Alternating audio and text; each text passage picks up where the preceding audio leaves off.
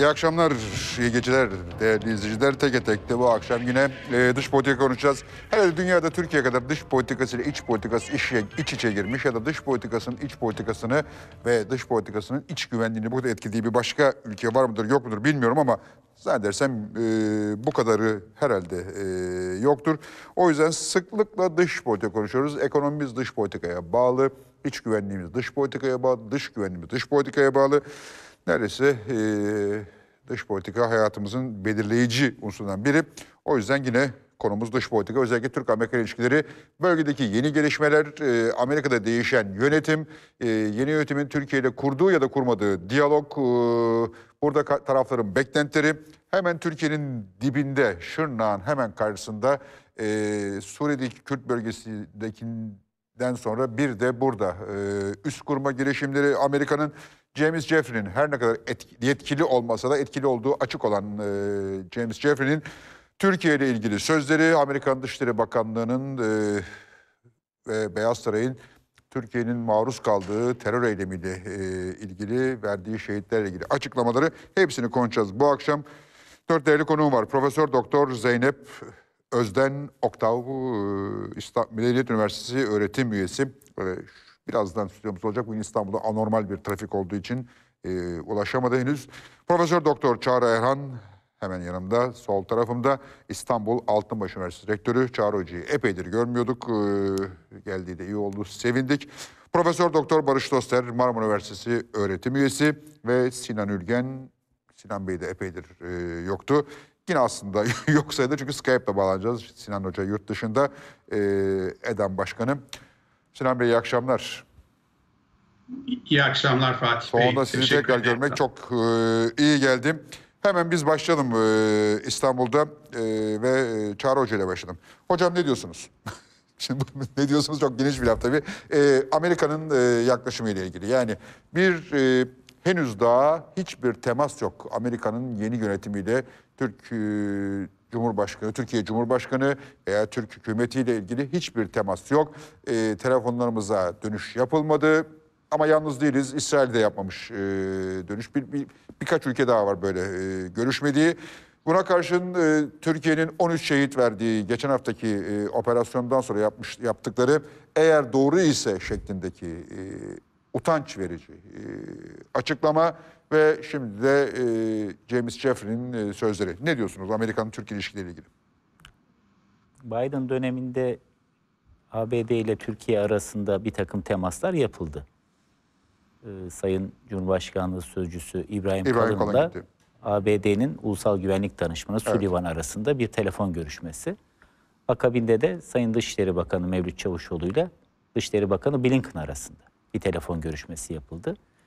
Ee, anlaşılan bu iki telefon görüşmesi de yakında gerçekleştirileceği düşünülen Biden-Erdoğan görüşmesinin bir ön hazırlığı Telefon görüşmesi ama değil mi? Bunlar telefon görüşmeleri ama biliyorsunuz diplomaside hele bu pandemi döneminde e, her şey Telefon daha ziyade yapılıyor. böyle gidiyor. Dün de e, Biden'la Netanyahu arasında bir saat civarında süren bir telefon görüşmesi olduğu basına açıklandı. Yani e, bu güvenlik konferansı olsun, Münih Güvenlik Konferansı, Birleşmiş Milletler Genel Kurulu vesaire bunların hepsinin online yapıldığı bir dönemden geçiyoruz.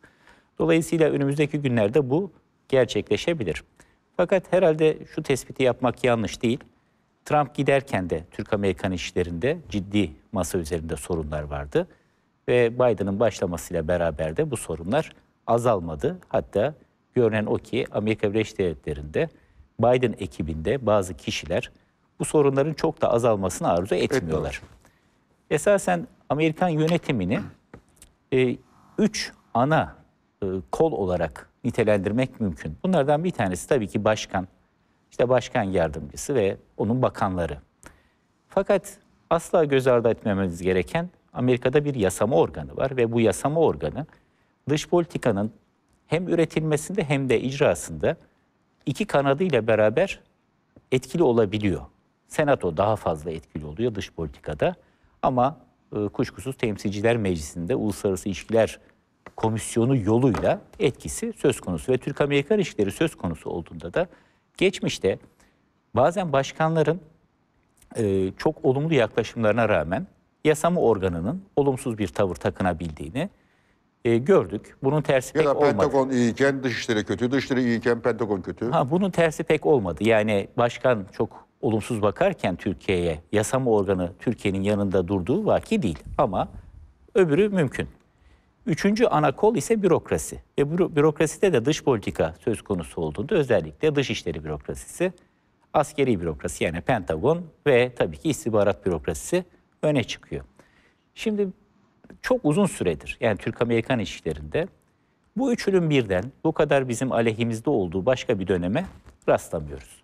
Yani öyle bir kesişme, kesişme noktası oluşmuş ki hem başkan ve yanındaki işte bakanları, yakın adamları hem bürokrasi, dış politika ile ilgili bürokrasi hem de yasama organı Türkiye ile ilgili çok ciddi, çoğu haksız ithamları dile getiriyorlar.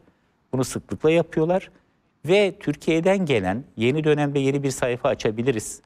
Buyurun diyalogla meseleleri ele alalım tekrar. Her birinin bir çözüm yolu kuşkusuz vardır e, şeklindeki çağrılara açıkçası kulaklarını tıkıyorlar. Bu yapılırken tabii Washington'ı bilenler bilir. Bir de orada bütün bu üç ana kolu, ana damarı tesir altına alan, onları istediği şekliyle yönlendirmeye çalışan lobi dediğimiz, baskı ve çıkar grupları dediğimiz, her biri kendi sahibinin sesi olan. Bunlar çünkü fonlarla ayakta kalırlar. Bunların bütçelerini birileri verir. Bir kitle var. Orada da düşünce kuruluşlarından işte lobilerine kadar, medya gruplarına kadar açıkçası bir tane bile Türkiye'nin yanında yer alan, Türkiye'nin lehine açıklama yapan e, bir şeye, rapora rastlamıyoruz. İstisnai olanlar da çok göze batıyor. Mesela geçenlerde New York Times gazetesi Suriye'nin kuzeyinde Türkiye'nin 3 harekatından sonra IŞİD'den ve PKK'dan arındırılan bölgede insanların ne kadar huzur içerisinde yaşadıklarına dair yerinde bir haber Haber yaptı. yaptı. Ve derhal o haberi yapan kişi hakkında bir karalama kampanyası başlattılar ve boğdular. Yani ciddi bir mahalle baskısı da söz konusu. Böyle olunca iş kolay değil. Eğer biz ABD ile Türkiye arasındaki ilişkileri yeniden e, bir rayına oturtmak arzusu içerisindeysek ki öyle olduğu görülüyor genel olarak Batı ile ilişkilerimizi yani hem Avrupa Birliği ile hem ABD ile ilişkilerimizi en azından diyalog kanallarının açık olduğu ve sorunların daha da büyümeden ama görüşmeler yoluyla eksilteceği bir yola sokmaya çalıştığımız aşikar. Ama bugünkü tabloda bunların kolay olmadığı gözüküyor. Geçen yaklaşık 10 gün evvel Amerikan Kongresi'nde Senato kanadından 54 tane milletvekili, senatör daha doğru bir ifadeyle e, Amerikan Başkanı Biden'a bir mektup yolla- yolladılar. E, olağan şüpheliler diyebileceğimiz insanlar buna öncülük ettiler. Yani her adımlarıyla Türkiye'nin karşısında Karşılandı. olan bazı işte Senatör Rubio gibi, Menendez gibi bir takım adamlar ama tabii 100 kişilik bir senatonun 54 tane üyesinin bunun altına imza atması da vahim bir durum olduğunu gösteriyor. Orada öylesine haksız ithamlar var ki mesela burada biz defalarca konuştuk. Şöyle bir cümle geçiyor. Türkiye'nin diyor Azerbaycan'ın Ermenistan'a karşı uyguladığı şiddeti kışkırttı. Yani nasıl bir şiddeti kışkırtmış? Adamlar kendi topraklarını almak için Ermenistan'ın yapmış olduğu saldırıya mukabele gösterdiler ve işgal altındaki topraklarını kurtardılar Kurtardı. Karabağ'da. Türkiye'nin bu şiddeti kışkırtmasından dolayı kınanmasından söz ediyor veyahut FETÖ'cü Enes Kanter'e işte tehditler, şantaj vesaire yapıldığı gibi ifadeler geçiyor. Ve maalesef bunları 54 tane senatör imzalayıp Biden'a bunu gönderiyor. Böyle bir tablonun aşılması için neler yapılabilir? Her şeyden evvel o telefon görüşmesinin şüphesiz yapılması lazım. Arkasından da geleneksel olmayan kanallarla daha bizim Türk-Amerikan ilişkilerinde işte askerden askere, dış işlerinden dış işlerine kanallar daha revaçtaydı eskiden ama Kesinlikle. bunlarla bu işin olmayacağı aşikar. Geleneksel olmayan kanallarla bu ilişkinin yeniden inşa edilmesi lazım. Yani iş dünyası mesela bunlardan biridir. Trump'ın son yılında da Amerikan Dışişleri, Amerikan Ticaret Bakanı'nın Türkiye'ye geldiğini, hiçbir yerde yapmadığı kadar uzun süre burada kaldığını, 100 milyar dolarlık bir karşılıklı ticaret hacmi için önemli bir plan ortaya çıkarttığını görmüştük, konuşmuştuk da. Fakat pandemiyle beraber bunun arkası gelemedi. e, bunların tekrar başlatılabilmesi veyahut işte akademik dünya arasında, sivil toplum arasında, sanatçılar arasında bir diyaloğun kurulabilmesi için çaba gösterilmesi lazım. Ama hepsinin ötesinde şu var, dış politika az önce bahsettiğim şekilde aslında bir takım çıkar gruplarının da istekleri doğrultusunda inşa edildiği için e, bugün Amerika Birleşik Devletleri'nin özellikle bizim bulunduğumuz coğrafyadaki çıkarları ile sadece stratejik çıkarlarından bahsetmiyorum. Bu baskı ve çıkar gruplarının ticari çıkarlarından da bahsediyorum. Türkiye'nin öncelikleri arasında çok da fazla bir örtüşme yok. Ve Amerika'nın burada attığı her adım ister istemez bizim e, hayati bir takım çıkarlarımızla çatışıyor. Yani bunların başında da az önce sizin ifade ettiğiniz Suriye'nin kuzeyindeki PKK, YPG, PYD varlığıyla ilgili buna karşı Türkiye'nin sürdürmekte olduğu mücadeleyle ilgili Amerika'nın tutumu geliyor. Bazıları 3. Obama dönemi olarak isimlendiriyorlar ve Obama döneminin politikalarını Biden'ın Suriye'de devam ettirdiğini ifade ediyorlar. Aslına bakarsanız Trump döneminde de Suriye politikasında bir değişiklik Çok yok. fazla değişik olmadı. Burada bir süreklilik söz konusu. Demek ki bu aslında Amerikan başkanının kim olduğundan bağımsız olarak Amerikan sistemi içerisinde az önce bahsettiğim bir başka bir yerde. Ve tabii ki onun adı da işte Pentagon e, ve hatta Pentagon içerisinde de CENTCOM değil mi? Merkezi Kuvvetler Komutanlığı burayla ilgilen, ilgilenen inşa edilmiş olan bir proje ve bu başkan kim olursa olsun Trump'ın bütün ısrarlarına rağmen Suriye'den çekilmedi adım ve Trump'ın bütün ısrarlarına rağmen PKK, PYD'yi orada beslemeye devam ettiler. Ee, ve bunu da sürekli kaşıyarak kanayan bir yara hatta cerahat e, alan bir yara haline getirmeyi arzu eden çünkü Türkiye'nin bu konudaki tepkisinin farkında olan bir kitle var. Onun bir uzantısı olarak değerlendiriyorum. Amerikan Dışişleri Bakanlığı Sözcüsü'nün Price'ın yaptığı açıklamayı. Ee, bu hataen yapılmış bir açıklama değil. Yani Şöyle düşünün. Şayet 11 Eylül'den sonra Türkiye şayet bu terör saldırısını El-Kaide yapmış ise diye bir cümle kursaydı. Biz bunları kınıyoruz.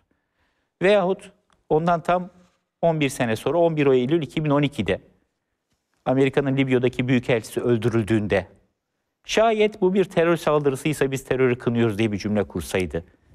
Veyahut Amerikan Başkanı Biden daha koltuğuna oturmadan 6 Ocak'ta kongreye saldıranları iş terörist olarak nitelendirdiğinde şayet bunlar iş teröristse biz bunları kı- kınıyoruz diye bir cümle kurmuş olsaydı herhalde Amerika Birleşik Devletleri'nde Türkiye'yi tanıyan birileri ya bu Türkiye nasıl müttefik?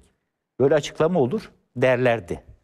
E şimdi oradaki bir if kelimesi, bir şayet kelimesi, eğer kelimesi Türkiye'de siyasi yelpazenin neresinde olursanız olun sağından soluna her kesimde Herkesin tepkisini büyük, topladı. büyük, büyük bir tepki doğurdu. Çünkü orada 13 e, şehidimiz var ve operasyon sırasında şehit olanlar da var.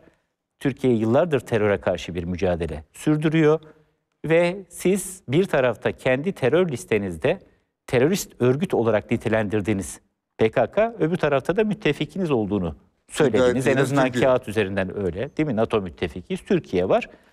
Şu anlama geliyor bu. Ya Türkiye bunu söylüyor ama PKK da başka bir şey söylüyor. Belki de PKK'nın dediği doğrudur. doğrudur. Şimdi sen bir terör örgütünün dediği doğrudur gibi bir izlenim yaratmaya mahtup bir açıklama yapıyorsan ve ikisini aynı kefeye koyuyorsan o zaman hemen aklına insanların PKK ile ABD arasında organik bağ olduğu, PYD'nin PKK'nın uzantısı olduğunu bilmesine rağmen yıllardır bunu beslemesinin sadece IŞİD'e karşı olmadığı ama aynı zamanda Türkiye'ye karşı da olduğu ve PKK, ABD'nin aynı zamanda 15 Temmuz 2016 terör darbesinin de arkasında olduğu gibi pek çok şey gelir. Gelmesinden de daha doğal bir şey, Doğal bir şey olamaz. yoktur. Büyük ihtimalle de doğrudur.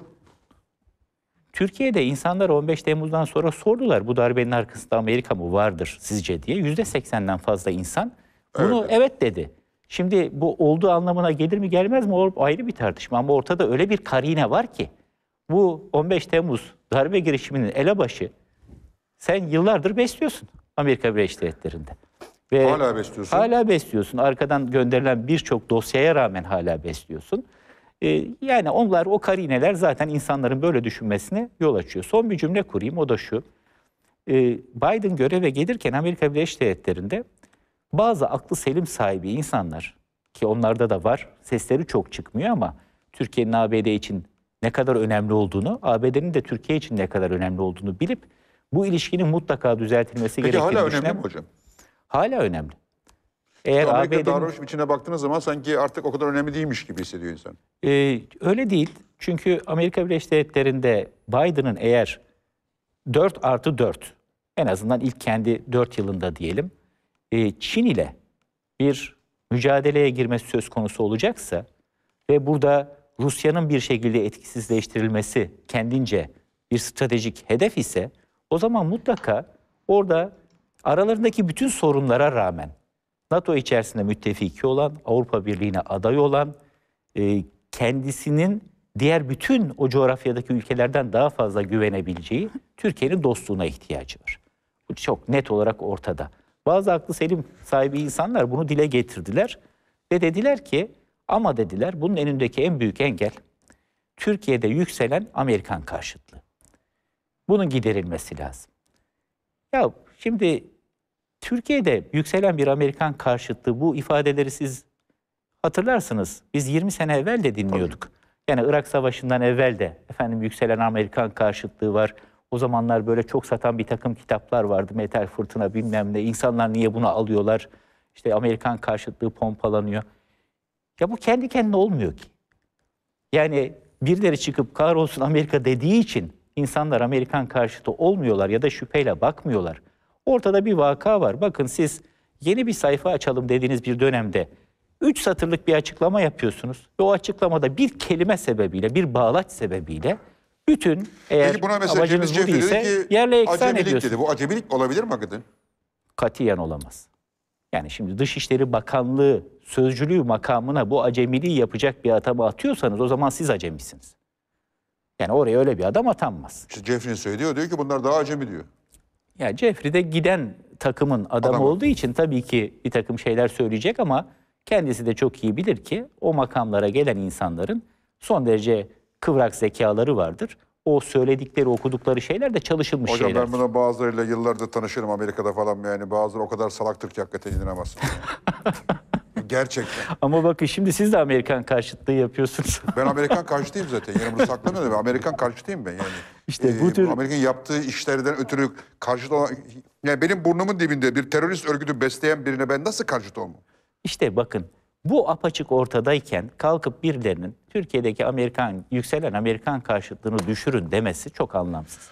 O kendiliğinden neşet eden bir şey. Ama hocam hakikaten Fatih bakın Amerika'ya gidip senatoda, senatörlerin yanındaki o e, senatörlere düşünce üreten salakları bir tanısanız bunlar böyle şahan üniversitelerde okumuşlar falan gibi görünüyor. İşte o Harvard'dan gelmiş, o Yale'den gelmiş, o bilmem nereden gelmiş. Dünyadan bir haber köyünden çıkmamış bir sürü tabir yerindeyse kusura bakmayın velet. Gelmişler orada böyle bıcı bıcı bıcı bıcı her şeyi bilirmiş gibi dünyadan haberleri olmayan üniversitede hafızlamış çocuklar. Şimdi Evet, ben doğru. son bir cümle dedim ama o zaman iki cümle daha ekleyeyim. Bütün sistem bunun üzerine kurulmuş Fatih. Amerika'da öyle ne yazık ki. Şimdi 435 kişi temsilciler meclisi, 100 kişi de senato, 535 tane milletvekili var.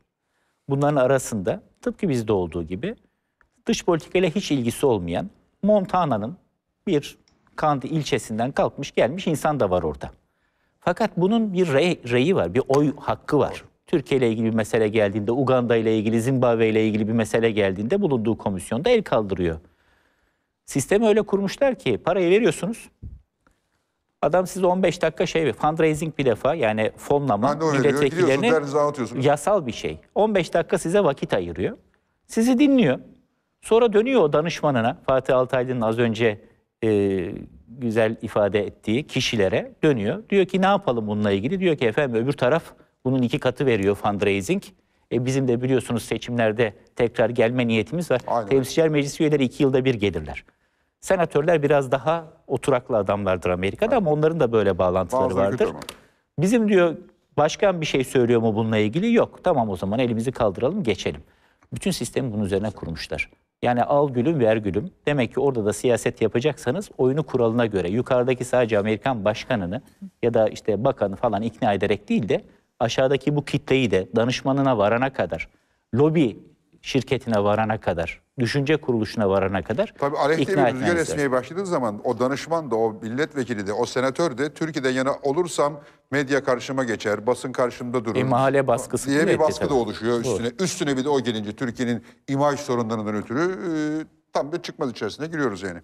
Zeynep Hanım hoş geldiniz. Hoş bulduk. Trafiğe takıldınız galiba. Evet. Felaketti bugün trafik. Evet, Evet, sabahtan sormayın. beri öyle ya öğleden sonra tam sapattı yani. Evet.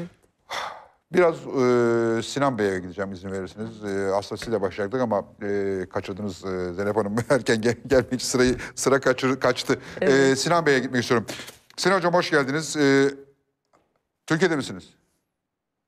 Değilim, e, bayağı uzaktayım. Afrika'daydınız son olarak. Hala mı? Botswa Botswana'dayım şu anda, Botswana'da. evet. Ee, Botswana'dan Skype'la bağlanabiliyor olmak muazzam bir şey. Yani teknolojinin geldiği noktaya bakın. Botswana'da bile bağlanabiliyor insanlar. Çok sevindik hocam. Ee, aman dikkat oralarda doktor moktor falan filan sıkıntısı da e, olabilir. Ee, lütfen kendinize dikkat edin. Hemen sorayım. Ee, Amerika. Şimdi benim e, zaman zaman söylediğim e, sizin e, de içinde bulunduğunuz e, dış politika uzmanlarının ise yok canım öyle değildir dediği bir, bir şeyden ben başından beri hep şüphe ediyorum. Siz de biliyorsunuz. Amerika Türkiye'yi kuşatıyor diyorum ben. Yok yok o kuşatma Rusya'ya yönelik diyor herkes. Ama bana sorarsa Türkiye'ye yönelik. Aleksandropoli'de bir üs kuruyorlar. Ee, Yunanistan'da Türkiye'ye 18 kilometre galiba e, mesafesi. Ee, Bulgaristan'da bir deniz üssü e, hazırlıkları var. Ee, aşağıda Suriye'de bir üs kurdular. Ee, Irak'ta ikinci Irak'taki Kürt bölgesinde ikinci e, üssü e, kuruyorlar ve bunun daha büyük olacağı e, söyleniyor. Yani Türkiye'yi İran'la beraber bir tarafa doğru itiyorlarmış gibi bir hal görüyorum ben. Merak ettiğim şu. Siz diyebilirsiniz ki bu, bu gerçekten Rusya'ya yönelik dersiniz. Ben buna inanmam ama e, tabii bir şey bildiğimden değil, insiyaki olarak inanmam ama e, şunu söyleyeyim. Türk-Amerika ilişkileri bu saatten sonra dikiş tutar mı? Şimdi bu e, nihayetinde iki tarafında e, kendilerine çizdikleri e, hem dış politika e, hem de bir ölçüde iç politika hedefleriyle e, aslında o, ne de ölçüde uyumlu olduğuna e, bağlı olarak e, bu sorunun cevabı değişir. E, şimdi tabii ki bir kere başlangıç noktamız e, bütün sorunlara rağmen, bütün sorunlara rağmen e, Türkiye bir NATO üyesi. Türkiye niye bir NATO üyesi? E, çünkü Türkiye 1923'ten bu yana tercihini Batı ittifakı içinde yer alma yönünde kullanmış ve sergilemiş bir ülke. Peki bu niye böyle? Çünkü nihayetinde Türkiye'de ki buna hani e, 2002'den bu yana AK Parti iktidarı da dahil e, topluma verilecek hem ekonomik kalkınma hem demokratik hedefler hem temel özgürlükler bakımından gene bütün eksikliklerine rağmen bunları en iyi hayata yansıtabilmiş ve toplumun ilerleme dinamiklerini destekleyebilmiş modeller batıdan çıkmış durumda. Ha buna belki Japonya'yı etkile, e, ekleyebilirsiniz, Kore'yi etkileyebilirsiniz ama nihayete onlar da bu diyelim geniş anlamdaki Batı ittifakının parçası olan ülkeler. Şimdi Türkiye'nin e, Batı ile ilişkisinin böyle bir gözden kaçıramayacağımız iç toplumsal dinamikler e, re yönelik e, bir e, etkisi var. E, dolayısıyla buradan Amerika sorunuza geleceğim, dikiş tutar mı sorunuza. E, Türk-Amerikan ilişkileri tabii ki Türkiye'nin Batı ile olan ilişkilerinin bir manzumesi. Yani bir boyutu. Bir tek buradan yani Türkiye'nin Batı ile ilişkisi sadece Amerika ile ilişkisi de indirgenemez. Ama Türkiye'nin Batı ile ilişkisi e, özellikle NATO ilişkisi içerisinde Amerika ile ilişkisinin çok ön planda gelen bir ağırlığı var. E, bunu da ifade etmek lazım. Dolayısıyla eğer iki tarafta da bu ilişkileri tamir etme yönünde bir irade oluşur ise o irade bu ilişkilerin önemi üzerine inşa edilecek bir irade oluşacak. Sizin biraz önce sevgili Çağrı Erhan'a sorduğunuz e, yani Amerika ile ilişkilerin gidişatına ilişkin soru da biraz aslında herhalde buna matuftu.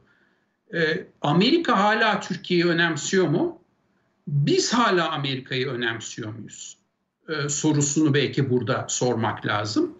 Ve bunun iki ayrı cevabı var. Amerika açısından baktığımızda e, Amerika evet Türkiye'yi önemsiyor. En azından önemseyen bir kesim var. Ama bugün Amerika'nın stratejik odağı Türkiye ve Türkiye'ye mücavir bölgelere yönelik değil. Amerika'nın stratejik odağı özünde Doğu Asya'ya ve Çin'e yönelik. Çin'in uzun vadedeki bu e, strate, stratejik risk oluşturma e, hedefi üzerine e, inşa edilmiş bir e, Amerikan dış politikası var. Birinci unsur bu. E, ikincisi Rusya. E, bu ikisini de ben hani kendim yorumlamıyorum. Daha bir hafta önce bu e, Münih Güvenlik Konferansı'nda Amerikan Başkanı Biden'ın yaptığı konuşmaya bakın. Evet. Bu konuşmanın anahtar kelimeleri Çin ve Rusya. Bir üçüncü anahtar kelime daha var. Bu da Türkiye ne derece önemsenecek, önemsenmeyeceği de açıklayacak. O da demokrasi. Bu Amerikan yönetimi bir öncekinden farklı olarak ve gene Biden'ın hani Münih Güvenlik Konferansı'nda yaptığı konuşma üzerinde yorumlayacak olursak en önemli farkı şu.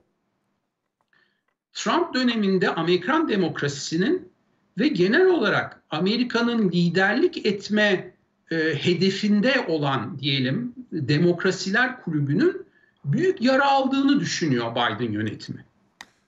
Trump'ın Amerikan dış politikasında etik değerleri, temel özgürlükleri, demokrasi normlarını tamamen saf dışı bırakarak tamamen menfaate yönelik e, bir dış politika yürütmesini çok şiddetli biçimde eleştirdi e, seçim döneminde Biden ve bunun da şu anda tekrarını görüyoruz zaten.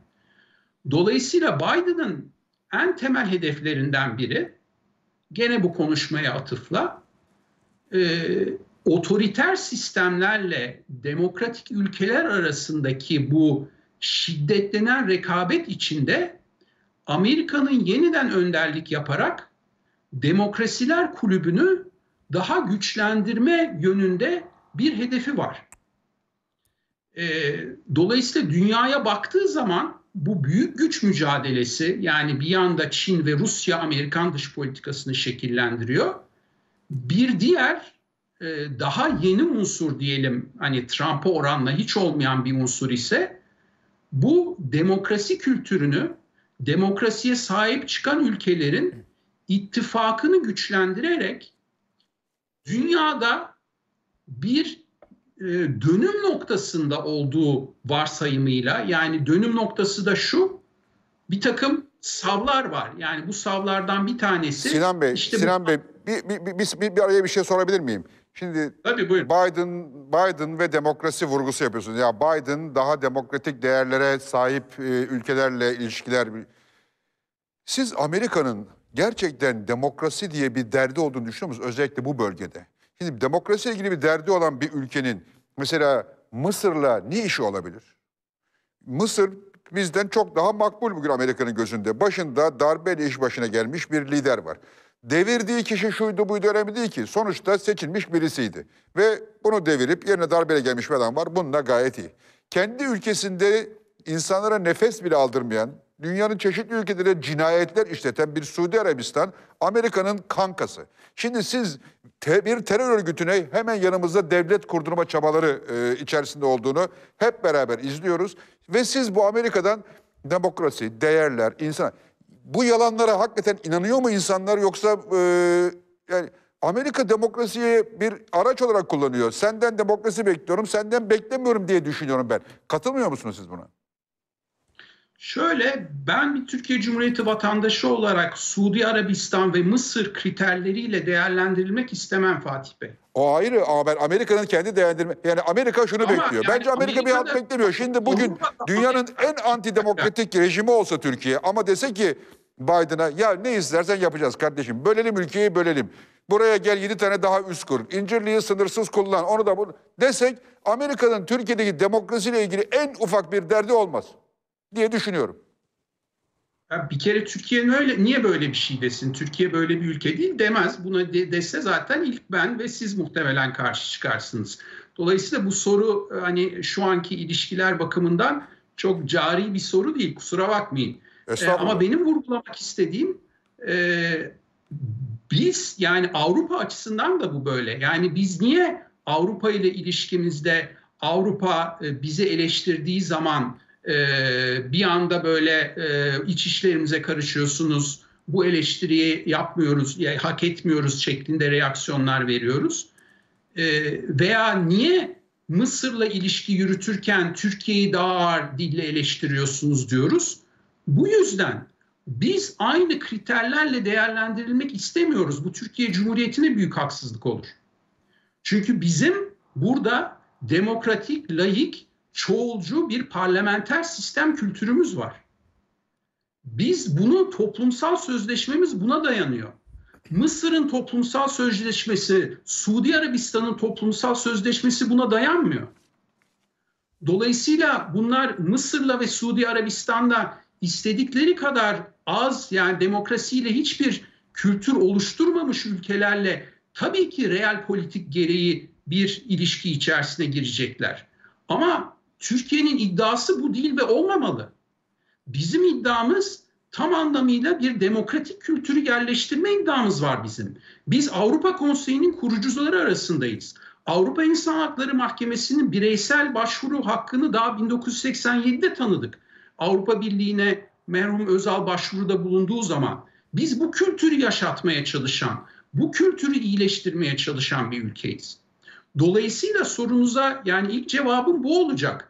E, Amerika'nın veya Avrupa'nın Mısır'ı Suudi Arabistan'la girdiği ilişki modeli ve demokrasiye orada demokrasinin olmamasına gözünü kapatmasıyla Türkiye ile girdiği ilişki modeli çok farklı özünde. Bu ilişki modeli bizim kendi tercihimizden dolayı farklı. Çünkü biz burada başta da söylediğim gibi o çoğulcu demokrasiyi yaşatmaya çalışan insanlarız ve buna yönelik bir devlet sistemimiz var. Buna yönelik bir anayasamız var. Bizim iddiamız bu. Şimdi böyle olduğu zaman biz kendimizi bu kulübe ait görüyoruz. Dediğim gibi e, biz bütün Avrupa kurumlarına, bütün transatlantik kurumlara üye bir ülkeyiz. Avrupa Birliği ile de halen e, zaten tam üyelik müzakerelerimiz şu anda pek iyi gitmese de nihayetinde Kapalı. formal olarak devam ediyor. Dolayısıyla biz bu kültürün içinde olan bir ülke yani aileden biriyiz. Mısır aileden biri değil. Suudi Arabistan aileden biri hiç değil. Onun için Amerika'nın ve Avrupa'nın bu ülkelere bakış açısı, eleştiri tonu, eleştiri odağıyla Türkiye ilişkisi ister istemez zaten farklı olacak. Siz derseniz ki bana biz o, biz o zaman bu ilişkiden memnun değiliz. Bu demokrasinin de bize de zaten bir yararı yok. Pek de beceremiyoruz. Biz bitirelim bu işi. Otoriter bir sistem kuralım. Suudi Arabistan, Mısır, Rusya gibi olalım. Batı ile ilişkimizde de rahatlayalım. Doğru şey budur bence e, öneri. Ben buna hiç katılmam ayrı konu ama hani gerçekçi olmak gerekirse Mısır, Suudi Arabistan, Rusya modeli budur.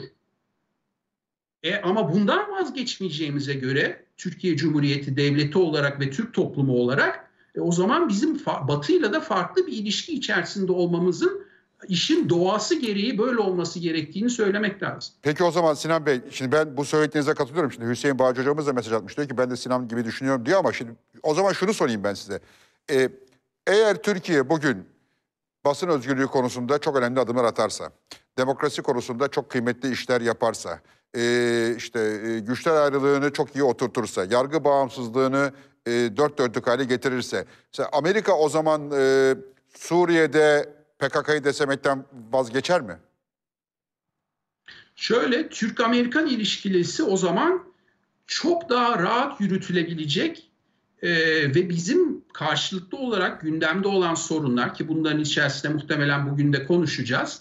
Bölgesel politikalar, İran'a bakış açısı, Suriye, S-400 meselesi, Fethullah Gülen, FETÖ hikayesi bütün bunlarda karşımızda bizi daha fazla dinleyen daha fazla yardımcı olmaya çalışacak bir Amerikan yönetimi bulacağız. Demokrasi bu işin bir parçası. Yani sizi sizden gördüğü zaman aileden biri olarak gördüğü zaman size başka bir gözle bakacağına ben inanıyorum. Bu yönetimin. Trump öyle değildi bakın. Trump döneminde bunları bu şekilde söylemezdik. Yani bu konuşmayı sizinle Kasım 2020 öncesinde yapsaydık başka şekilde konuşacaktık Amerika Türk Amerikan ilişkileri konusunda. Ama Biden bu işi önemsiyor. Ve zaten Amerika'yı tek bir Amerika olarak değerlendirmek de doğru değil. Bunu siz de çok yakından biliyorsunuz. Yani demokratlarla cumhuriyetçiler hele hele Trump'ın temsil ettiği cumhuriyetçi kanatla Biden'ın temsil ettiği demokrat kanat arasında ister istemez zaten bir gerek Amerika'nın kendisinin nereye gitmesi gerektiğine dair yani içerideki düzene dair gerekse Amerika'nın dış dünyada oynaması gereken role dair çok özlü bir görüş farkı var. Şimdi bunun yansımasını görüyoruz Amerika'nın dış ilişkilerinde. Peki Sinan Bey teşekkür ediyorum. Bir kısa ara vereceğim. Sonra Zeynep Hanım'la devam edeceğiz.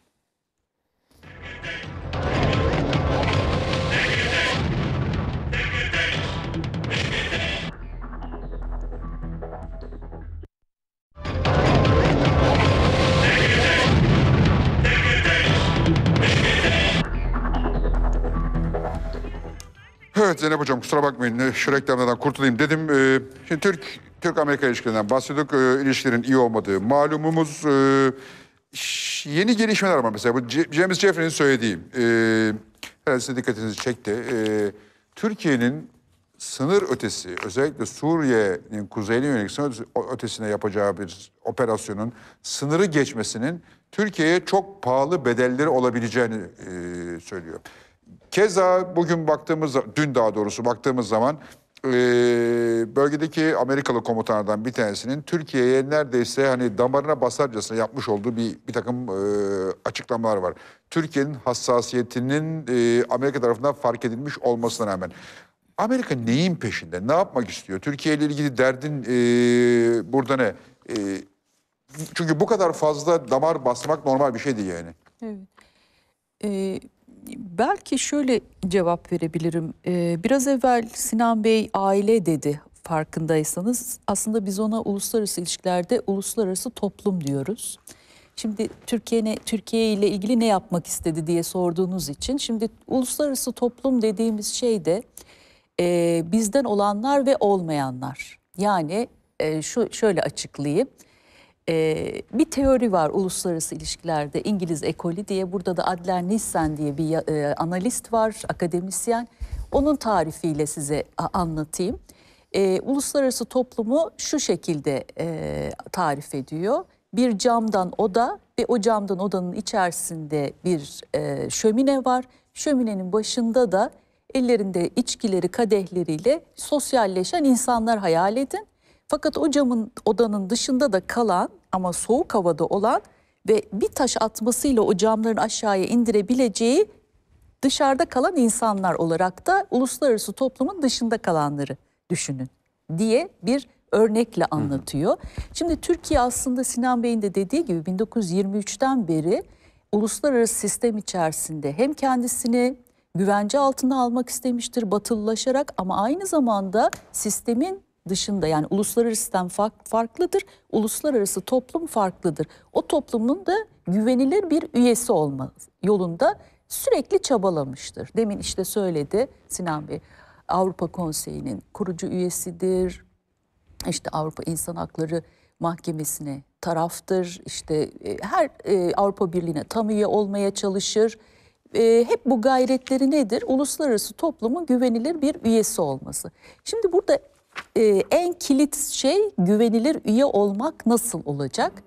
Buradan da Amerikalıların anladığı Amerika'nın ve Avrupa Birliği'nin çıkarları veya Batı dünyasının, Amerika'nın ve müttefiklerinin diyeyim, Avrupa Birliği de demeyeyim, Avrupa, Amerika ve müttefiklerinin çıkarları doğrultusunda hareket eden bir Türkiye. E ama biz de o müttefiklerden biri olduğumuz için normal değil mi öyle beklemeleri?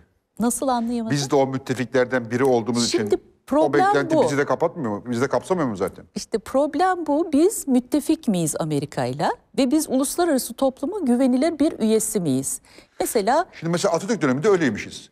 biz e, Amerika Başkanı mektup yazıyor Atatürk'e ve dünyada başka bir örneği yok. Diyor ki Birleşmiş Milletler Cemiyeti'ne üye olmanızı istiyoruz diye. Bunun dünyadaki tek örneği Mustafa Kemal dönemi Türkiye'ye yazılmış mektup. Demek ki güvenilir bir üyesiyiz, üyesiymişiz. Mişiz ama onun da bir bedeli vardı. Yani biz e, Musul'u verdik, hilafeti kaldırdık, saltanatı kaldı. Yani Osmanlı'dan kalan izleri e, sildik. Yeni bir ulus devlet oluşturduk. Kıyafet devrimi yaptık. Bir sene boyunca radyolarda klasik Türk müziği ve Türk halk müziği çalınmadı. Yani inanılmaz bir batıllaşma süreci. Yani ben burada Şükrü Hanioğlu hocanın da kulaklarını çınlatayım. Ben onun öğrencisiyimdir. Bize e, öyle bir anlattı ki bu batıllaşma sürecindeki devrim sürecini, e, sosyal hayatın nasıl bir değişim ve dönüşüme uğ- uğratıldığını. Cum- Atatürk ve tabii ki Cumhuriyeti kuran kadrolar tarafından.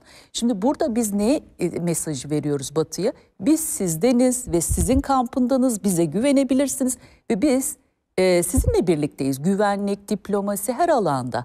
Şimdi Türkiye öyle enteresan, sadece Türkiye Öyle bir değil. söylediniz ki zannedersiniz ki mesela Kore'de biz Atatürk'ün emriyle gittik falan. Hayır hayır ama Tü- Türkiye'de Kore'de bir bedel bakan zamanda ödedi. Kore'ye asker tanıdık. gönderdi ve NATO'ya üye oldu Evet. 1900. 1951'de biz İncirlik Üssü'nün açılmasına müsaade ettik. Şimdi Türk-Amerikan ilişkilerini anlamak çok zor ve bir yüzü yok, birden fazla yüzü var. Hakikaten Türk-Amerikan ilişkileri hep e, sanki askeri alanda işbirliği gibi algılanıyor ama diplomasi ayağı da var, ekonomi ayağı da var. İşte e, bir, bir- belli bir e, güvenlik şemsiyesi altına girmek için de Amerika ile ilişkilerimizi ilerletmişiz. Burada e, toplum Mısır, Suudi Arabistan değil elbette Türkiye. Fakat Türkiye bütün bu süreçlerden geçerken de çok darbe aldı Amerika Amerika ile ilişkilerinde. Her başı sıkıştığında bir darbe yedi Amerika'dan. Yani bunu anlatmama gerek yok. O kadar çok anlatıldı ki yani 64 Johnson mektubundan tutun işte yaptırımlar şunlar bunlar ama biz son zamanda aldığımız darbe hiçbir şeye benzemiyor. Bizi artık eskiden kılıfına uydurarak yaparlardı yani darbeleri. Şimdi açık açık e, darbeler e, de bulunuyorlar. Ben demokrasi konusunu kesinlikle bir manivela olarak Amerika'nın elinde bulundurduğunu düşünüyorum.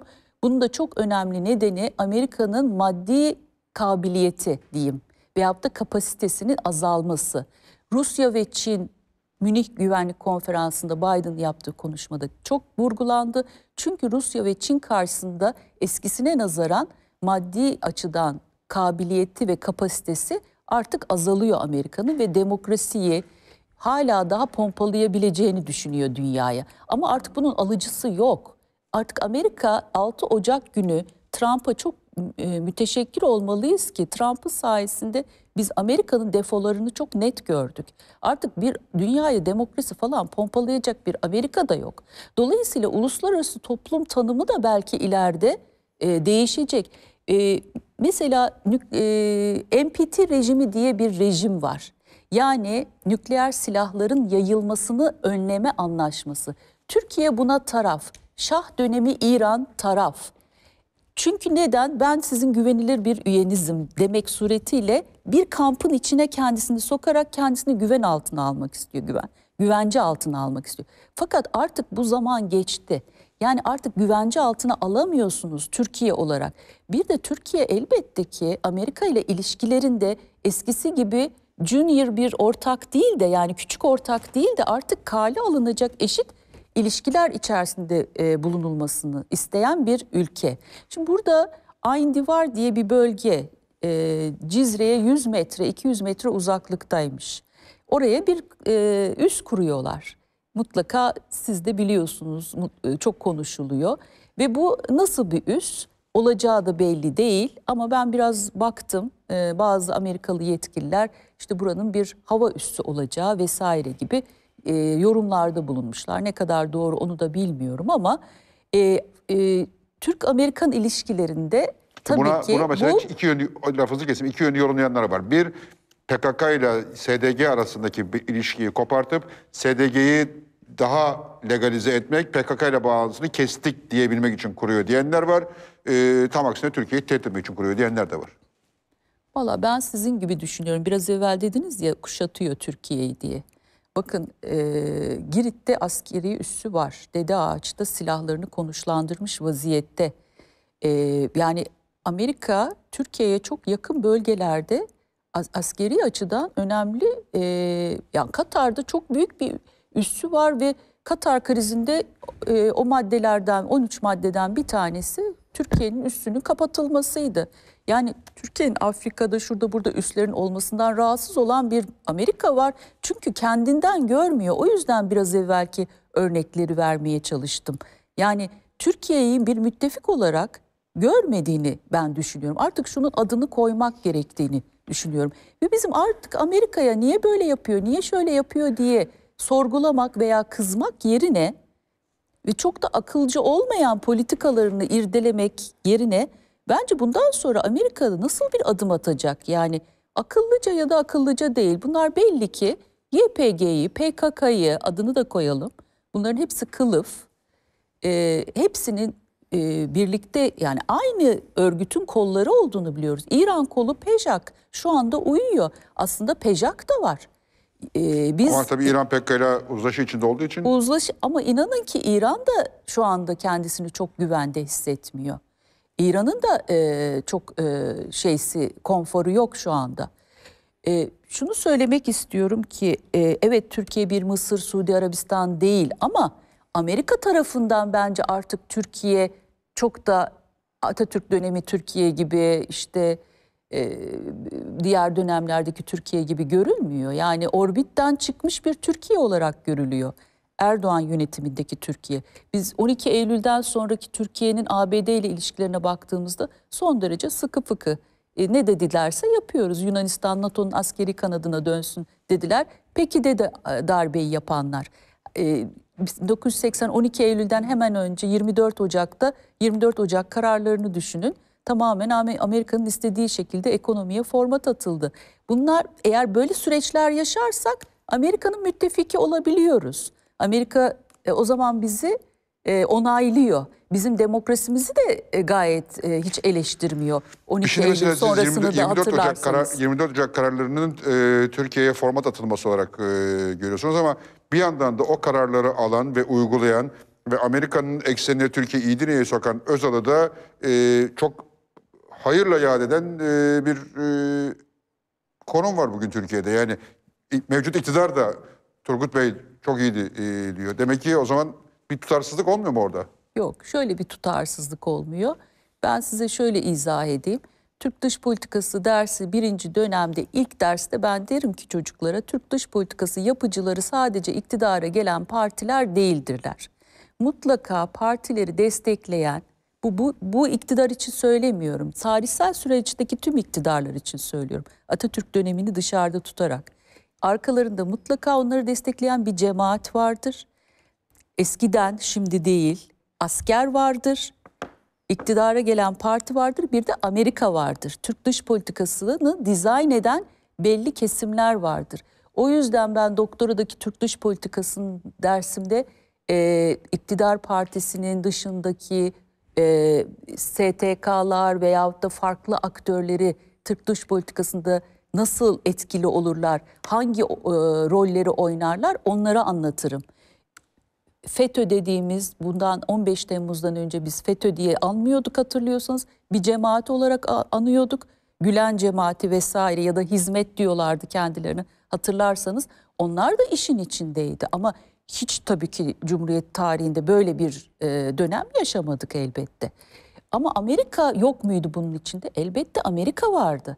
O yüzden dış politika yapıcılarından bir tanesi Amerika'dır. Çünkü Amerika hep bizim tam da dış Peki ne yapmak politikamızın lazım hocam? içindedir, ortasındadır. Amerika ile ilişkileri koparmak mı lazım? Şimdi Amerika ile ilişkileri kopartmanın sancılarıdır bu. İşte YPG'ydi, Ya oraya doğru gidiyor ee, iş. oraya doğru gidiyor. Sincar operasyonunu engellemeye çalışıyorlar bana kalırsa Amerika. Çünkü Türkiye kendi başına hareket ediyor. Kendi inisiyatifiyle hareket ediyor. Demokrasiymiş, şuymuş, buymuş. Artık şu andan yani içinde bulunduğumuz konjonktürde e, bunların artık tiyatro olduğu ortada. Yani demokrasi tamamen manivela büyük ülkelerin yani Amerika gibi ülkelerin elinde. Çünkü Çin'e mesela bu şekilde vurmaya çalışacak. Rusya'ya bu şekilde vurmaya çalışacak. Aslında Amerika'nın meselesi Türkiye'den önce bölgede Rusya. Türkiye'nin Rusya ile birlikte hareket etmesi Amerika'nın bölgede elini zayıflatıyor. Karadeniz'e gelmesi savaş gemisiyle bizim işte Ukrayna'ya Ukrayna'ya yardım etmemiz Amerika'nın işine geliyor. Üç, e, geçen hafta biliyorsunuz Soçi'de üçlü zirve oldu. Türkiye, Rusya, İran. Onların e, yayınladığı bildirgeye bakarsanız e, Türkiye, İran, Rusya'nın çoğu noktada ortak hareket etme konusunda karar aldıklarını görüyorsunuz. Özellikle bir tane bir maddesi çok önemli. Diyor ki Suriye'nin toprak bütünlüğü ve işte buraya da müdahale etmeye çalışan öz yönetimleri engellenmesi gibi bir ifade var üstü kapalı bir şekilde. İşte YPG ve Amerika'nın kontrolündeki YPG'ye atıf yapılıyor. Türkiye'nin dış politikasında şu anda izlediği yol çok uzatmış olabilirim ama şöyle söyleyeyim yine Osmanlı'dan beri e, geleneksel dış politika, dengeleme politikası.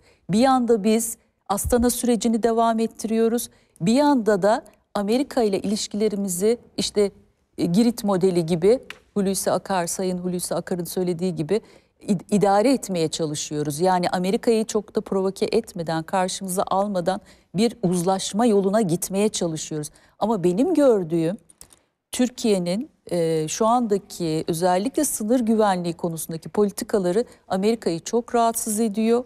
Rusya ile ilişkileri çok rahatsız ediyor. O yüzden de e, Türkiye'ye bu şekilde e, sopa gösteriyor diye bitireyim sözleri. Peki teşekkür ediyorum. Tekrar e, konuşacağız. E, F-35'ler meselesi de var. Dava açıyormuşuz e, galiba. Şimdi hocam dedi ki den, Türkiye dengelemeye çalışıyor. Türkiye gerçekten dengelemeye çalışıyor mu? Ya da çalıştığı muhakkak da dengeleyebilir mi? Dengeleyemez. Bitti sorun. Neden? Başka soru sorayım. Şundan dengeleyemez. Şimdi benden evvel her üç meslektaşım da uzun uzadıya izahatta bulundular ki katıldığım noktalardan fazla katılmadığım noktalar var. Ama bir kelimeyi ısrarla kullanmadılar. Ben o kelimeyi kullanayım. Çok sık kullandığım bir kelime. ABD emperyalist bir devlettir. ABD'nin dünyaya bakışı da, ABD'nin Türkiye'ye bakışı da, ABD'nin Orta Doğu'ya bakışı da o emperyalist mercekten süzülüp gelen bir bakıştır. Ölçeğiyle, iktisadi, siyasi, askeri hacminin büyüklüğüyle, ekonomisiyle, dünyadaki 150'den fazla ülkede bulunan irili ufaklı 800 adet üssüyle, 21-22 trilyon dolarlık ekonomik hacmiyle, 750-800 milyar dolar arasında değişen savunma bütçesiyle ABD emperyalist bir devlettir. Türkiye ise orta büyüklükteki bir devlettir. O bağlamda ikisinin tehdit tanımı, tehdit algısı, hedefi, beklentisi, menfaatları aynı olmaz, örtüşmez. Şimdi bu bir. İkincisi şimdi ABD'den demokrasi beklemek hani ABD zaten böyle bir misyona sahip olan bir devlet değil ama benim o ulusal gurumu, benim o cumhuriyetçi hassasiyetimi çok fazla örseliyor. Yani ABD'den siz demokrasi beklediğiniz anda benim aklıma Afganistan gelir. Benim aklıma Irak gelir. benim aklıma geçmişte Vietnam gelir. Küba gelir. Kore gelir. Şili'de Allende'nin devrilmesi gelir. İran'da Ajax operasyonuyla millici başbakan Musaddık'ın alaşağı edilmesi gelir. O yüzden ben kategorik olarak ABD'den demokrasi beklemem. Hatta bir adım daha ileri giderim. Dedim ki dünyadaki 8 milyar insan arasında demokrasiden, insan haklarından, özgürlükten bahsedecek son şahıs ABD başkanıdır. Çünkü ABD'nin sadece geçtiğimiz yüzyılda bir asır boyunca yakın coğrafyasında yıllar yılı arka bahçemdir diye tanımladığı bölgede yani Latin Amerika'da imza attığı darbe ve darbe girişimlerinin toplamı bindir. Bin. Bin. Bin. Bir artı üç tane sıfır. Şimdi böyle bir ABD var karşımızda. İkincisi Türkiye-ABD ilişkileri yapısal olarak sorunlu ilişkilerdir. Geçtiğimiz haftalarda değerli Çağrı Erhan hocamla kulakları çınlasın Mustafa Aydın hocamın öncülük ettiği bir Uluslararası İlişkiler Konseyi'nin eş güdümünde bir Zoom konferansına katıldım. Dedim ki ben başlangıcından bu yana ben 78 adet irili ufaklı sorun saptadım. Türkiye ve ABD arasında. Hatta Çağrı hocam bir an telaşlandı aman hocam dedim. Rahatlayınız 78'ini birden sıralamayacağım. Ama ister Johnson mektubu, İster Kıbrıs Barış Harekatı, ister Haşhaş krizi, ister 1 Mart tezkeresi, ister Süleymaniye Çuval olayı, ister PKK, PYD, YPG terör örgütüne verilen destek, ister darbelerin arkasında olması, ister sözde soykırım iddialarını başımızda adeta Demokles'in kılıcı gibi sallandırması, ister FETÖ'yü sahiplenmesi. İrili ufaklı 78 adet ben sıraladım ki her meslektaşın kendi 78 maddesini buna Barış Bey ekleyebilirler. araya bir şey e, sormak istiyorum. Şimdi e, Zeynep Hanım dedi ki bugün Türkiye bağımsız hareket etmeye başladı. Bu, bu Amerika'yı rahatsız ediyor. O yüzden bu sorunlar. Ben buna şu açıdan katılmıyorum. Geçmişte de Amerika ile Türkiye ağır sorunlar yaşadı. Türkiye'nin ilk bağımsız hareket etme girişimi de değil bugünkü girişim. Kıbrıs Harekatı'nı Amerika'ya karşı, Amerika'ya rağmen, Rağmen. yaptık. Ee, Haşhaş meselesi keza yine e, Amerika'yla. Süleyman Demirel'in e, ve Bülent Ecevit'in kapatılması. İki Amerika ile yapmış olduğu mücadele bugünkünün de ötesinde bir mücadele Çok aslında baktığında. Yani hani herkes zannediyor ki ya biz eskiden Amerika'nın çok uydusuyduk ve işte o nerede biz orada. Çok öyle değildik yani biz e, 1960'ların ortasından itibaren Amerika ile sürekli bir gerilim halindeyiz. Yani, yani e, 58. 58'den tabii ilk, başlatmak ilk, lazım. 58 doğru. Yani ilk orada yardım isteyip de bize vermedikleri tarihten Bu Jüpiter itibaren füzeleri meselesi zamanında. arkasından işte U2 casus U2, uçakları, U2 Jüpiter casus füzeleri, Johnson mektubu. Yani biz hiçbir zaman böyle hani bal börekli Amerika yani hani Amerikan uydusu gibi bir ülkeydi. Türkiye'de bu iktidar geldi bizi uyduluktan çıkar diye bir şey yok. Hep vardı ama bugünkü kadar tehditkar değildi Amerika Türkiye'ye karşı. Yani 10 birimi alırsak biz 10 zaman birimini, 10 zaman dilimini belki bunun 7,5-8'i sorunludur. Evet. İkisi göreli daha Ama mutedildir. Türkiye hep Amerika'nın orbiti içindeydi. Yani orbiti içinde olmaktan ne kastediyorum? Ee, Amerika'nın değerleri ve normlarına uygun bir ülke olarak algılanıyordu. Şimdi bence e, Amerikan tarzı bir hayatı bıraktı. Yani e, artık zaten öyle bir öyle bir. Yani- konjonktür de kalmadı zaten. Yani politik olarak merkezin sağı ve solu, liberal demokratı, muhafazakarı, sosyal demokratı, ABD bağımlılığı yapısaldır Türkiye'de. Artı ben halkımızın, yurttaşlarımızın, toplumumuzun da günlük tüketim, harcama kalıpları, çocuklarını okutmak istedikleri ülke, tercih ettikleri ikinci, üçüncü yabancı dil, müzik zevki, sigara alışkanlıkları bağlamında çok da anti-Amerikan bir halk olduğunu düşünmem. Fakat burada asıl mesele şu. Acaba biz ABD'yi ne kadar tanıyoruz? Şimdi ABD deyince bizim aklımıza sadece Beyaz Saray gelmemeli. Beyaz Saray önemli bir güç müdür? Evet önemli bir güçtür. ABD başkanıdır sonuçta. Ama ben ABD'nin hele de dış politikasında yönelimin başkan demokrattı veya cumhuriyetçi diye değiştiğine inanmam. Başkan esmer tenli ya da beyaz, sarışın diye değiştiğine inanmam. ABD'nin dış politikasını ABD müesses nizamı başta olmak üzere belirleyen çeşitli vektörler vardır. Beyaz Saray bunlardan sadece bir tanesidir. Hazine, dışları, savunma bakanlıkları vardır. Sivil asker bürokrasi vardır. Temsilciler Meclisi ve Senato ayağıyla kongre vardır. Önemli düşünce kuruluşları vardır. Bizim Yahudi lobisi başta olmak üzere çok iyi bildiğimiz Ermeni Rum lobileri dahil önemli lobiler vardır. Düşünce kuruluşlarına koşut medya vardır. Akademi vardır. Yani bütün bunların bileşkesi sonrasında bir dış politika kararı alınır ve o uygulanır. O yüzden başkanın siyasal partisi, tercihleri, derisinin rengi, Obama'ya at ben söylüyorum. Halasının kızlık soyadı, dedesinin Afrika'da nereden geldiği ABD dış politikasında o bağlamda çok etkili değildir. Ha şimdi gelelim ABD'nin Türkiye'ye olan bakışına. Geçmişte ve günümüzde ABD Türkiye'yi bir, Müslüman kimliğiyle, iki, Orta Doğu başta olmak üzere jeopolitik konumuyla, üç, NATO'nun ikinci en hacimli ordusu olarak bir askeri gücüyle değerlendirir ve günümüzde baktığımızda bir, İsrail'in ki İsrail İngiltere ile beraber ABD'nin iki stratejik ortağından biridir. Başka da yoktur zaten. İsrail'in güvenlik ihtiyaçlarının temini. İki, Suudi Arabistan ve öncülük ettiği körfez ülkelerinin güvenlik ihtiyaçlarının tatmini. Üç, enerji kaynak ve güzergahları üzerinde ABD nüfuzunun devam ettirilmesi. Dört, bir Kürt devletinin kurulması. Ağzımızdan yer alsın. İran, Irak, Suriye ve Türkiye'nin bölünmesi pahasına ve Akdeniz'e sahipdar bir Kürt devletinin kurulması. Beş, İran'ın rejiminin değiştirilmesi ve kuşatılması. Altı, bu coğrafyada yakın çevre politikası derler ona. Rusya'nın artan ağırlığının dizginlenmesi. 7. Bu coğrafyanın enerji kaynaklarının en büyük müşterisi olan Çin'in bu coğrafyada yumuşak gücü dahil olmak üzere artan ağırlığının bir parça giderilmesi. Hangi başlığı ele alırsak alalım bu 7 madde içerisinde her değerli meslektaşım da kendi 7 maddesini ayrıca ekleyebilir. Türkiye'nin öncelikli çıkarlarıyla, tehdit tanımlarıyla ABD'nin çıkarları ve tehdit tanımlarının örtüşmediğini, bilakis çakıştığını, zıtlaştığını görüyoruz. ABD bu yedi maddenin hangisini çekerse çeksin Türkiye ile çelişiyor. O bağlamda ben önümüzdeki süreçte de ABD'nin PKK, PYD, YPG terör örgütüne desteğinin aynen devam edeceğini bir, çok kullanışlı bir aparat olarak ki bunlara zaten kara gücüm diyor. 60-70 bin tır dolusu silah yollamış. 4-5 bin hava kargo uçağı dolusu mühimmat yollamış. Suriye'de PKK, PYD, YPG terör örgütüyle beraber ABD'li CIA bağlantılı bir şirket petrol çıkarıp yani petrol kaçakçılığı yapıyorlar bir başka ülkenin topraklarında.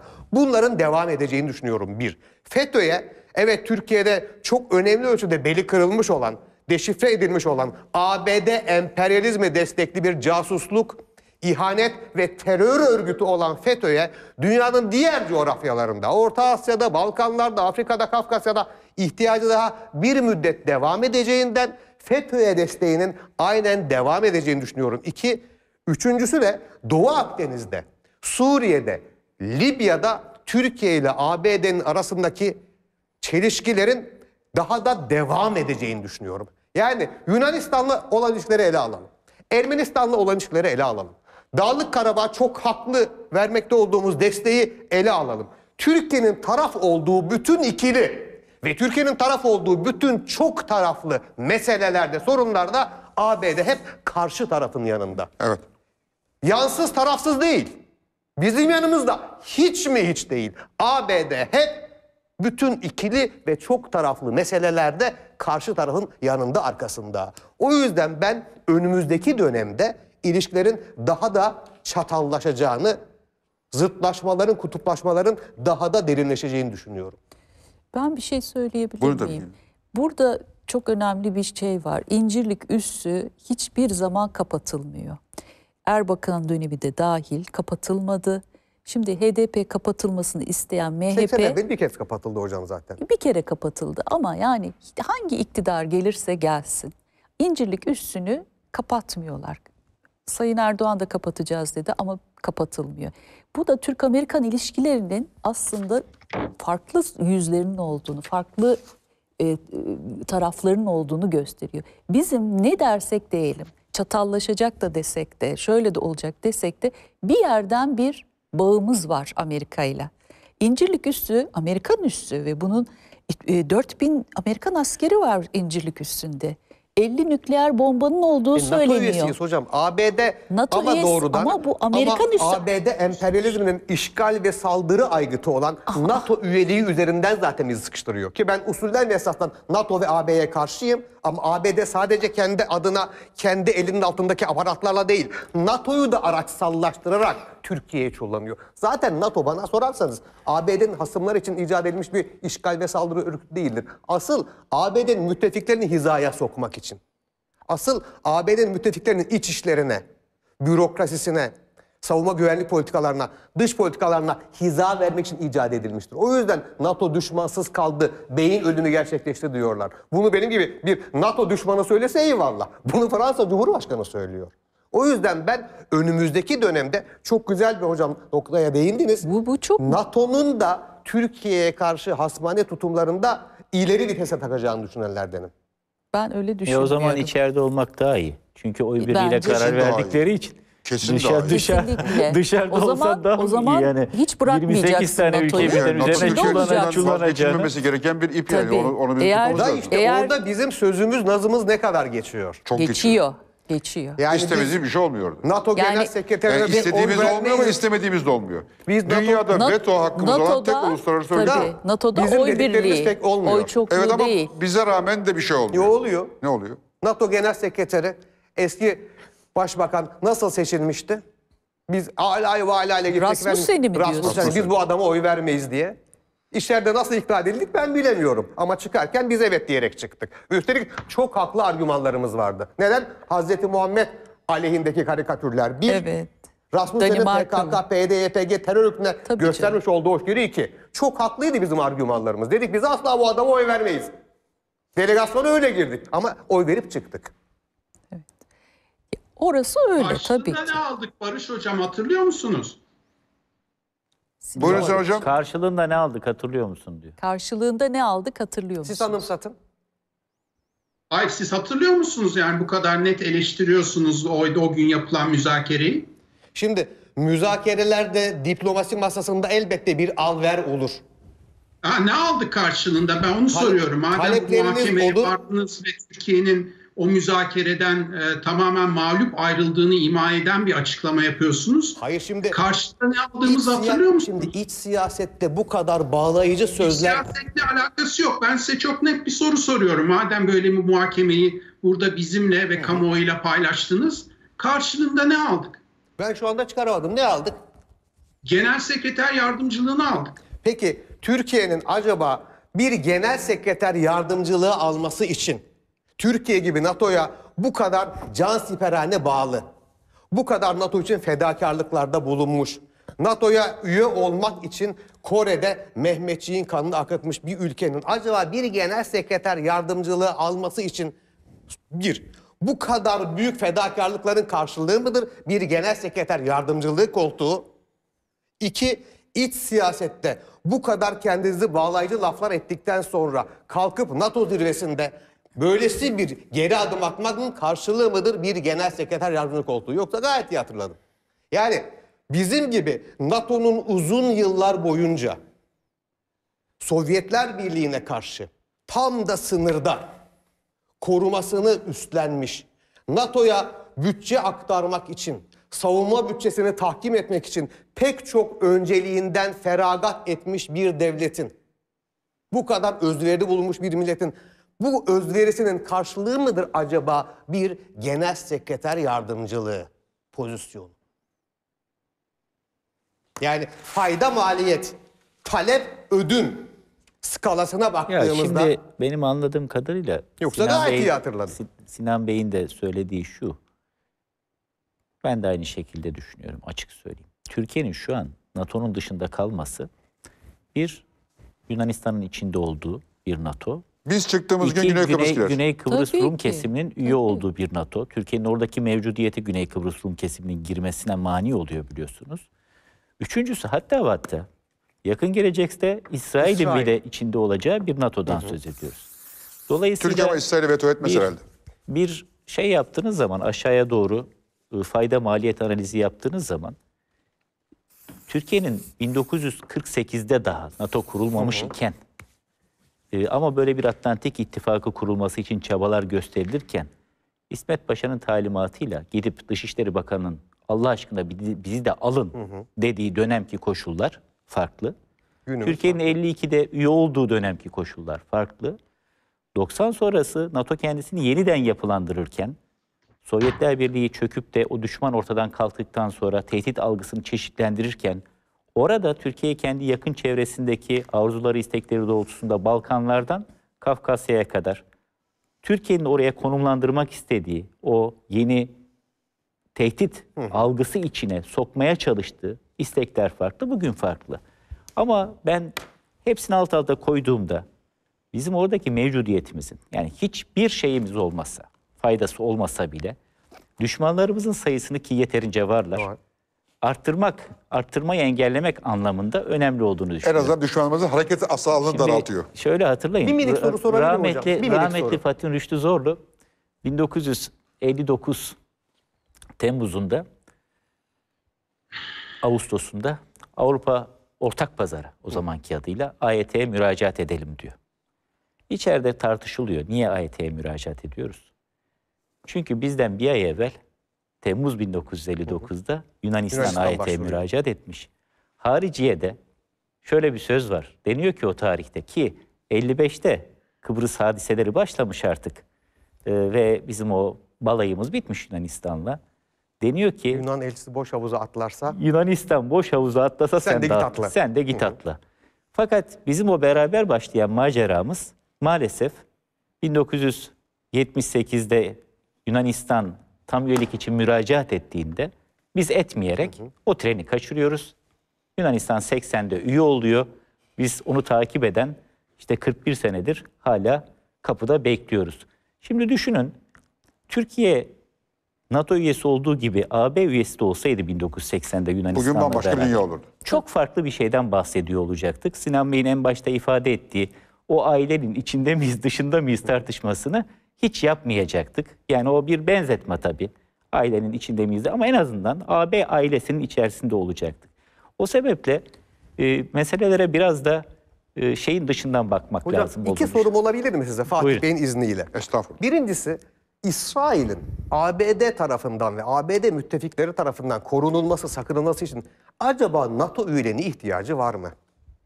Bence yok. Yani İsrail Hayır hayır. NATO üyesi onu, olmasa da onu bakın. Ben ABD silsileyi, gözünde- silsileyi tamamlarken dedim ki Güney Kıbrıs olur ki kapıda yani biz engelliyoruz. İsrail bile bir gün olabilir diyorum. Korunması için vesaire değil. Ama İsrail'in de içinde olduğu bir NATO'yu düşünün. Yoksa ABD'nin kaç zamandır gündeminde Suudi Arabistan, İsrail'in olduğu Orta Doğu NATO'su falan falan var. Onlar hayata geçer geçmez ayrı. İkinci sorun da şu hocam.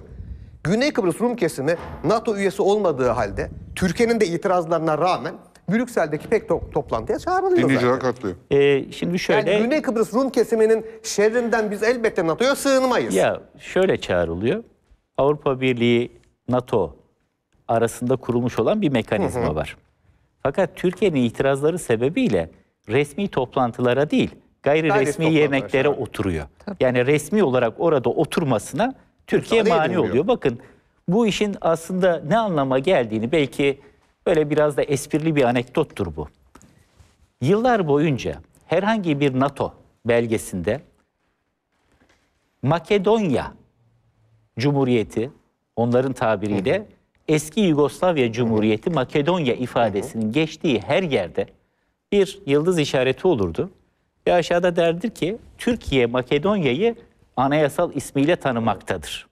Bunu bir NATO Genel Sekreteri bile konuşmasında mesela yeri geldi Balkanlardan bahsediyor. Eski Yugoslavya Cumhuriyeti Makedonya der bir es verir ve arkasından o cümleyi tekrar okurdu. Çünkü Türkiye ya ben bir NATO üyesi olarak burayı anayasal ismimle tanıyorum. Hiçbir NATO belgesinde siz bu ifadeyi tek başına kullanamazsınız. Benim tanıdığım şekilde de kullanacaksınız demiş idi.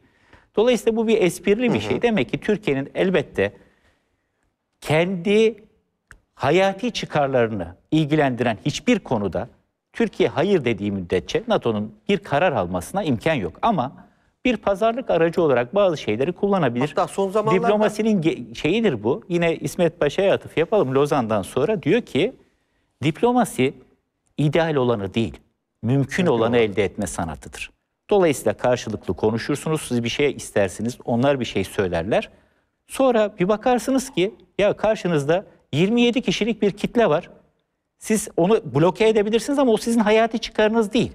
O zaman ben buradan nasıl, bir menfaat elde edebilirim ve az buzda bir şey değildir ha. Bakın o genel sekreter yardımcılığı. En son biliyorsunuz e, Tacan Bey'di genel Tacan sekreter yardımcısı. Tacan Bey o kadar etkin bir iş yaptı ki Tacan Bey genel sekreter yardımcılığından ayrıldıktan sonra 8 ay boyunca NATO 2030 stratejik planının hazırlanmasından Evet. sorumlu 10 kişilik bir akil adamlar grubu içerisinde de yer aldı.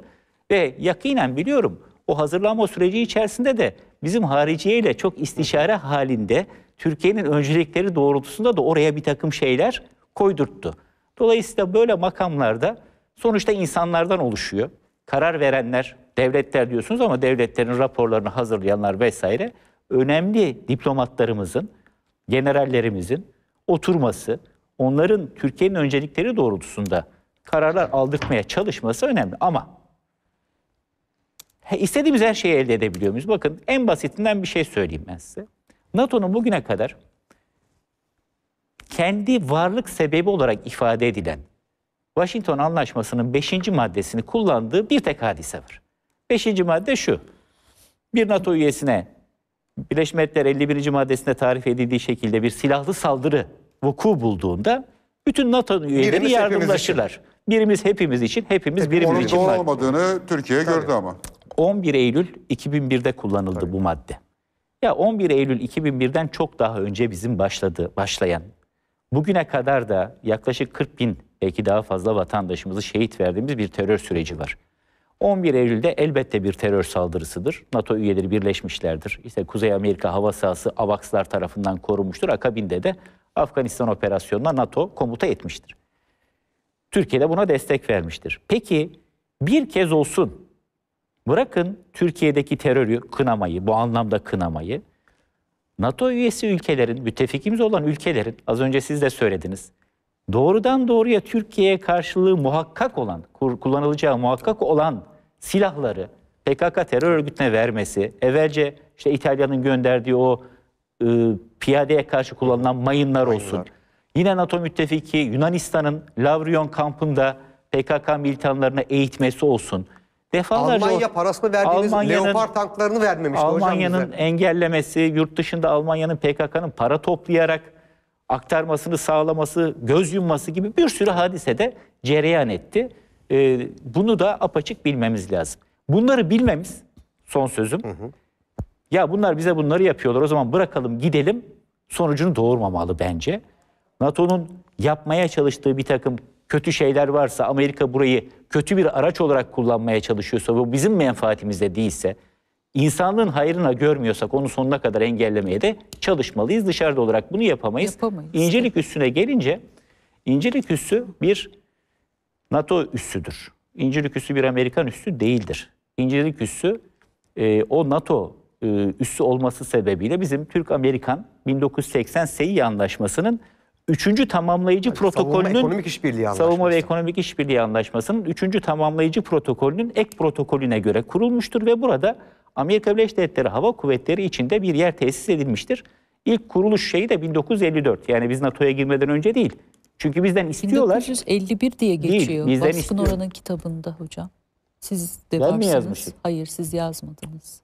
1954 olması lazım. Ama el- çünkü el- belki bir süreç çünkü olabilir mi? bizden 51 ile Adana'da hava 54. sahası istiyorlar. Havaalanı istiyorlar. Biz de diyoruz ki rahmetli Celal Bayar sen beni almazsan NATO'ya ben bunu sana vermem. Yoksa açık tehdit haline gelirim. Benim bir güvenlik şemsiyesi altına girmem gerekir diyoruz.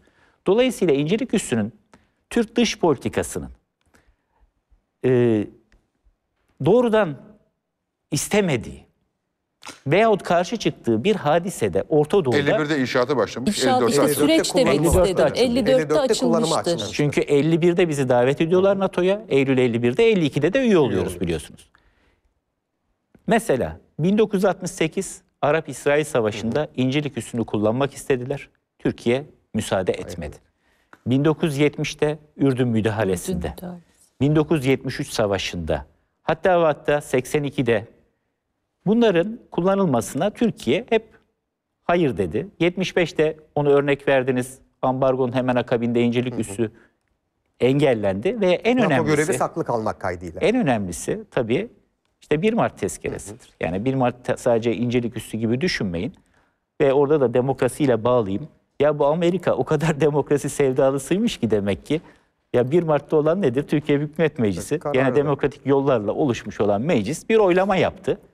Ben buna müsaade etmiyorum dedi. Vay sen misin bunu yapan? Tabii Bugüne ama kadar orada Amerika'nın tavrı e, yani Amerika'yı en çok eleştiremedim ama orada Amerika'yı ben çok eleştirmiyorum. Niye eleştiremiyorum? Şimdi o günlerde baktığını hatırlayın. e, Yaşar Yakış'la Ali Babacan beraber Amerika'ya gittiler. 100 milyar dolar verin, 90 milyar dolar verin, 70 milyar dolar verin. Hatta dönemin Amerikan e, At savunma bakanı diye geçti. at pazarlığı At- at yapıyorsunuz. pazarlığı Çok ayıptır dedi. Daha ağırı da söylendi de ben burada televizyonda bunu söyleyemem. Yani e, bir Amerikalı e, üst düzey bir komutan Türkiye'yi e, jeop, jeopolitik konumunu satan tatsız bir şeye benzetti. Yani o zaman ya Amerika'ya siz bunları yapın biz bunu meclisten geçiririz dendi.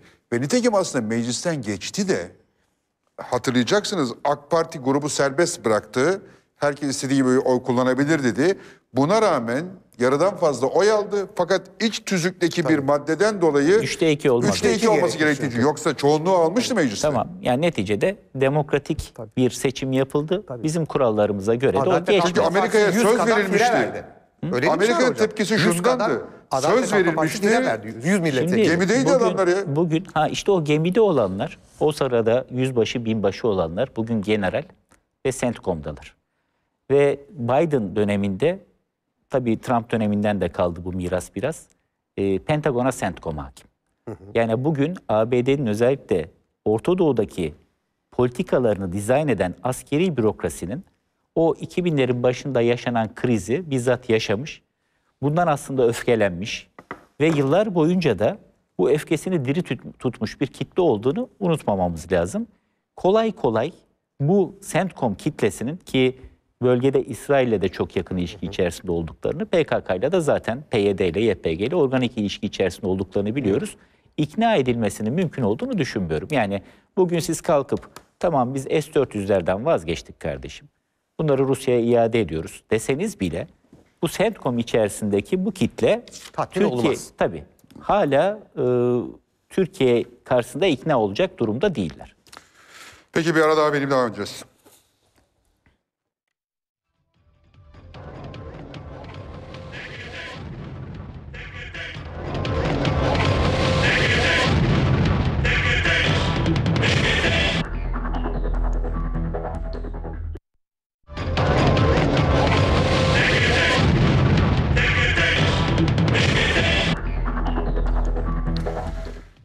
Zeynep Hocam şimdi iki tane mesele e, var. Bunlar dikkat çekici. Bunlardan birisi e, Sayın Hulusi Akar'ın e, eski Genelkurmay Başkanı, şimdi, şimdiki de Savun, Milli Savunma Bakanı Hulusi Akar'ın e, S-400'lere ilgili Girit formülü e, idi. S-400'lere Girit formülünün ne olduğunu üç aşağı beş yukarı bizi izleyen herkes biliyordur ama söyleyelim. E, Kıbrıs Rum kesiminin almış olduğu S-300 füzeleri e, Yunanistan'a verildi. Ancak NATO buna karşı çıktığı için bunlar g- Girit'e eleştirdiler ve depolardan çıkarılmayacak dendi. Ancak daha sonra geçtiğimiz e, yaz aylarında Türkiye'nin S-400 denemesiyle paralel bir şekilde hemen hemen aynı günlerde onlar da S-300'leri aktive edip Evet. bir test yaptılar. Yani depodan da çıktı. E, S-300'lere kimse bir şey demiyor ama S-400'lerden ötürü kıyamet kopuyor. Ee, siz e, Genelkurmay Başkanı'nın bu konudaki açıklamasının ne demek olduğunu anladınız mı? Samimi bir açıklama mı ve Girit neresi? Türkiye'nin Girit'i neresi olacak? Kıbrıs mı olacak bizim Girit'imiz? Yoksa Gökçeada'ya falan mı koyacağız? Ee, nereye koyacağız? Ee, de ki böyle bir şey oldu. İkincisi Türkiye hukuki bir adım atıyor ve ilginç bir adım atıyor. Ee, F-35'lerle ilgili olarak Amerikan hükümetini dava etmeye hazırlanıyor. Evet, önemli. bu nasıl bir dava? Paramızı mı isteyeceğiz? Uçakları mı isteyeceğiz? Ne yapacağız? Aslında parasını ödemiş olduğumuz uçakları bize vermiyorlar Vermiyorlar. biliyorsunuz. Yani bu hiç akla hayale sığacak bir şey değil. Bayağı hırsızlık bence de artık ne diyeyim adını koymak Gasp lazım. ettiler, Ha, gasp. gasp ediyor yani parasını. Ama bize bunu es- daha önceki yıllarda da yaptı Amerika. Parasını ödediğimiz fırkateyni almak için mürettebatı Amerika'ya yolladık. Ee, bir, ay beklettiler Bu Türkiye'nin alışkanlığıdır ama Osmanlı döneminde de oldu biliyorsunuz bu. Neydi İngiltere'den hatırlamıyorum. askeri gemilerimizi Ha, almadık. evet. İki gemimize el İki gemimize el koyduk. Ama el harp çıktı o zaman. Evet. Sonra da harp çıktı zaten. Yo, o sırada Tam o harp sırada harp çıkmak çıktı, üzereydi. Şey yaptılar. Evet, evet. Yani Girit modelini ben şöyle yine izah etmeye çalışıyorum. Hani deminden beri konuşuyoruz. Ben Türkiye dengelemeye çalışıyor dedim.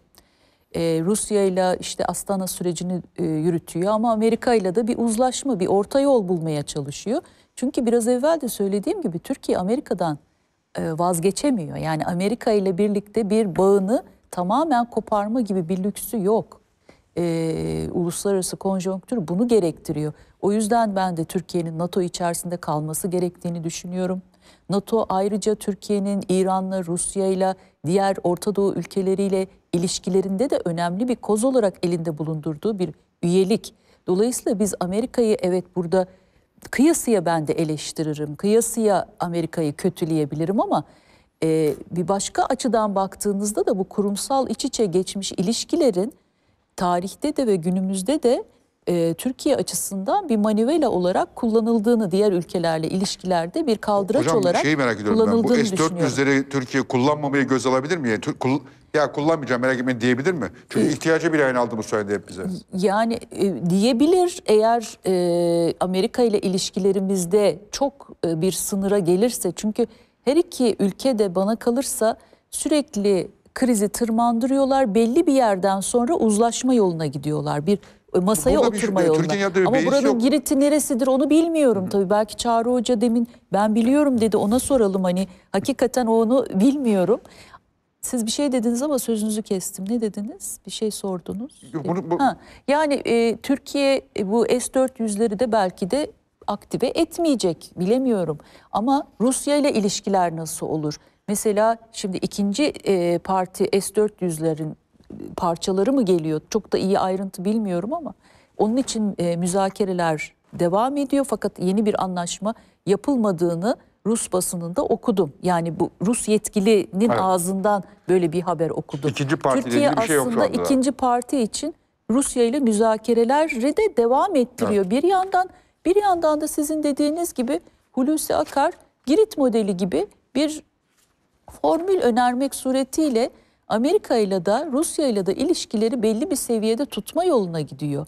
Yani bu e, başka bir e, çaresi de yok Türkiye'nin bu şekilde e, bir politika izlemekten başka bir çaresi Peki bu yok. davadan sonuç çıkar mı? F-35 davasından bir sonuç çıkar mı? Vallahi bence e, çıkar. Çıkar diye düşünüyorum. Çıkması da lazım. Çünkü bu bir gasp Barış Hoca'nın dediği gibi. Bunda tahkim var mı demiştim ben daha önce sormuştum. Ee, Profesör Doktor Mustafa Kibaroğlu öyle bir madde yok demişti yanlış hatırlamıyorsam. Diye eğer bizi dinliyorsa e, mesaj e, atabilir düzeltmek için. E, bu gibi anlaşmalarda ya- yargı, tar- yargı tarafı nasıl işler? Yargı nereye bağlıdır? Bu sözleşmeyle ilgili bir, bir bilgimiz var mı acaba? Hayır yok. Onları bilmiyorum açıkçası.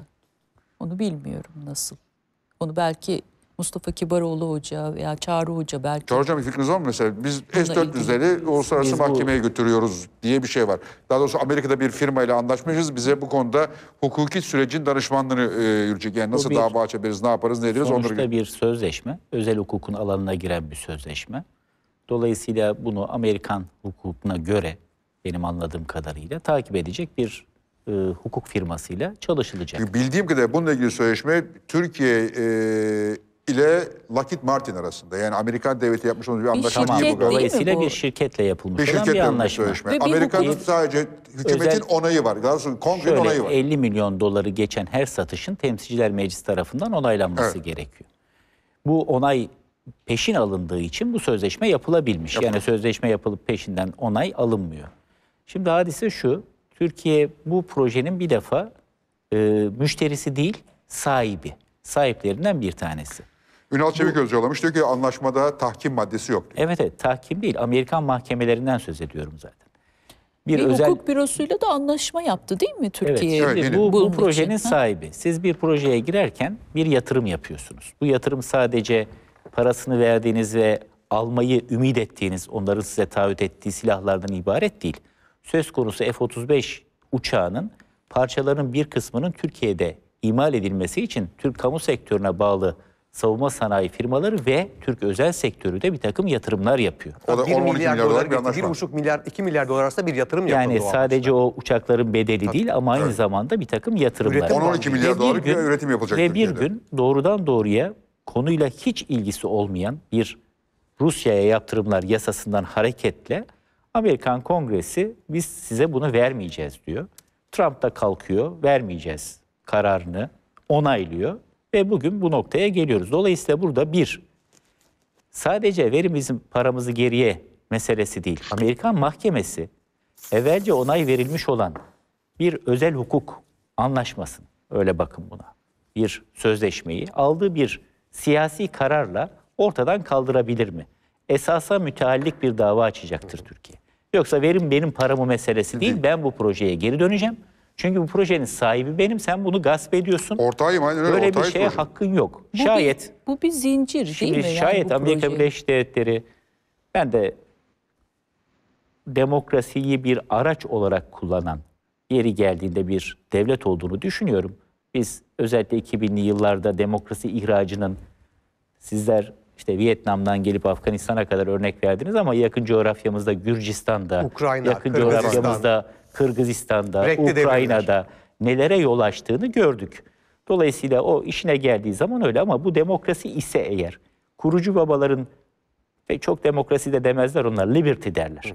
Hürriyet tarifine baktığınız zaman, özgürlük tarifine baktığınız zaman iki temel özgürlüğe atıf yaptığını görürsünüz. Bunu e, Jefferson'da da görürsünüz, bunu Franklin'de de görürsünüz. Bir tanesi fikir hürriyetidir, bir tanesi de teşebbüs hürriyetidir. Girişim hürriyeti. Şimdi teşebbüs hürriyetinin özünde senin yapmış olduğun işte kapitalizmin de özü bu. Hani görünmez el teorisi bilmem ne falan. Devletin mani olmaması ve sen anlaşma yaptıktan sonra da ona müdahil olmaması. E şimdi burada apaçık senin evvelce taahhüt ettiğin ve verdiğin onayla yürürlüğe girmiş olan ve muhatabının da buna güvenerek ciddi bir masraf yaptığı bir anlaşmanın ihlali söz konusu. Tabii Amerikan mahkemeleri bunda nasıl karar verir? Kalkıp da bir Amerikan mahkemesi doğrudan doğruya devletin politikasını e, ortadan kaldıracak bir karar alır mı? E, bunu göreceğiz. Ama Türkiye'nin bence buradaki hedefi katiyen ver benim paramı değildir. Ben bu projenin asli sahibiyim, buna geri döneceğim meselesidir. Girit konusuna gelince ben tabii güzel bir röportajdı o. Hürriyet gazetesinde Sedat Bey yaptı hatırladığım kadarıyla. Ben onu bir lokasyon tarifinden ziyade bir model tarifi tarif. olarak görüyorum. Yani e, bir adaya ve veyahut Türkiye dışındaki bir toprağa yerleştirilmesi şeklinde değil de tıpkı Yunanlıların uzunca bir süre bu yakındaki tatbikata kadar nasıl Depoda aktive, tuttuysa. et, aktive etmeden tuttular ise bu şekilde bunun tutulabilmesinin tartışılabileceği, konuşulabileceği, Türkiye illa böyle yapacak değil ama bunun tartışılabileceği şeklinde ben bunu algıladım ama ekseriyet herhalde Türkiye'de bunu bir lokasyon olarak algıladı. algıladı. Ee, öyle düşünmek gerekmediğini düşünüyorum. Çağrı Bey siz ne dersiniz? Amerika'ya dava ve e, özellikle de bu e, Girit... E, Sinan'a soruyorsunuz. A- Sinan diyor pardon. Sinan Hocam, e, Girit ve e, Amerika'ya dava konusunda F-35 ile ilgili ne düşünüyorsunuz? Ee, önce Amerika ile dava başlayayım. Bence çok gibi. doğru ama- ama çok geç atılmış bir adım. Yani bu mesele gündeme geldiği e, ki ilk S-400 F-35 bağlantısı yanılmıyorsam 2017 yılında kuruldu. O andan itibaren Türkiye'nin yapması gereken buydu. Yani biz şimdi 4 yıl sonra yapıyoruz bunun gereğini. İyi de oluyor. Ama çok geç kaldık. Yani nihayetinde Amerikan mahkemesi buna ne karar verir tabii bilemiyoruz. Ama o, o zaman biz bunu hayata geçirmiş olsaydık, yani hukuku, hukuku kendi yanımıza almayı o zaman düşünseydik, bugün müzakere masasına çok daha rahat, çok daha güçlü otururduk. Dolayısıyla evet bu yapılması gerekiyor ama keşke bunu 4 yıl önce yapsaydık. E, belki o zaman yapsaydık iş zaten bu kadar iki ülke arasında tahribat yaratan bir noktaya da varmayacaktı. Onun için bizim e, ülke olarak zaten e, yani hukuka başvurmakta bir e, tedirginliğimiz var biliyorsunuz. Biz uluslararası hukukunda sürekli bizim aleyhimize kullanıldığını düşünen, geçmişte bunun acı örneklerini görmekle beraber, e, dolayısıyla zamanı geldiği zaman hukukun bizim lehimize de çalışabileceğini, bizim siyasi ve diplomatik olarak elimizi güçlendireceğini de e, hatırda tutmamız gerekiyor. E, onun için diyorum bu atılmış doğru bir adımdır. Keşke bunu daha önce e, ilgililer aslında e, karar verip hayata geçirmiş olsalardı belki bugün o zaman e, ne Girit formülünü konuşacaktık ne katsa yaptırımlarını. Şimdi Girit formülü konusunda ise Girit formülünün iki önemli özelliği var. Siz bir tanesine atıfta bulundunuz. Girit formülünün birinci özelliği bu sistemlerin operasyonel olmaması, Evet. Garajda durması ve ancak burayı da altını çiziyorum. Hangi noktada S-300'ler kullanıldı biliyor musunuz? NATO ile NATO şemsiyesi altında yapılan tatbikatlarda kullanıldı. Ne için kullanıldı? NATO'ya bağlı ülkelerin hava kuvvetlerinin S-300'ü daha iyi görmeleri ve S-300'de gerçek şartlarda karşılaşmalarını sağlamak için kullanıldı. Ee, bir de İsrail'le yapılan ikili tatbikatta kullanıldı. Toplam dört kere çıktı S-300 garajdan. Üçü de NATO şemsiyesi altında yapılan tatbikatlar için. Şimdi Sayın Akar'ın ben e, Sayın e, Sedat Ergin'e vermiş olduğu mülakatta bu S-300 modelinin ilk boyutundan bahsettiğini düşünüyorum. Yani e, eğer bir formül bulabilirsek Amerika ile Türkiye S-400'ün ancak olağanüstü şartlarda kullanımına kabullenecek. Dolayısıyla bunun e, sürekli operasyonel işler bir sistem olmadığını, kendi ağına entegre edilmeyeceğini ve ancak olağanüstü şartlar oluşursa, Türkiye'ye yönelik yakın ve gerçek bir tehlike olursa bunun garajdan çıkacağını kabullenecek. Ee, ama ama ki bu noktada bunun Türkiye-Rusya ilişkilerine dair hiçbir etkisi olmaz Fatih Bey. Yani Türkiye'nin S-400'ü nasıl kullanacağı, ne zaman kullanacağı tamamen egemen kararıdır. Ee, Rusya ilgilendirmez. Ama ikinci boyutu anlattığım, yani S-300 nasıl NATO tatbikatlarında NATO ülkelerinin savaş uçaklarının e, gerçek sistemle karşılaşmalarını ve buna yönelik e, bir takım e, egzersizler yapmalarını beraberinde getiriyorsa, S-400 konusunda buna benzer bir taahhüt vermek istediğini düşünmüyorum ben Sayın Milli Savunma Bakanı. Çünkü eğer bu olursa o Rusya'ya zaman evet bu noktada Türkiye ile Rusya arasında ciddi, Ciddi bir sorun olur. Sağ olun. Çok Ee, teşekkür ediyorum. Ee, vaktimizi aslında doldurduk ama e, ne yazık ki dört konukla e, iki saatlik bir programda böyle oluyor. Barış Bey, e, özellikle bu S-400 meselesiyle ilgili sizin fikriniz nedir? Çok kısaca toparlarsak. Kusura Şimdi bakmasın. hangi ülkeden hangi savunma sistemini alacağımız bir egemen ve bağımsız devlet olarak bizim kararımızdır.